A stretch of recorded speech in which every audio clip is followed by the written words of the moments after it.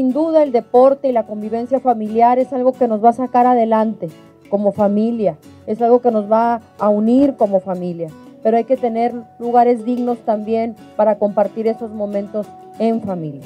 Pero hay que comprometernos con lo que podamos y cumplir con nuestra palabra. Y esa palabra empeñada vale mucho, así que claro que vamos a construir sus canchas, vamos a construir el andador para que ustedes lo cuiden y lo valoren mucho y lo disfruten sobre todo en familia.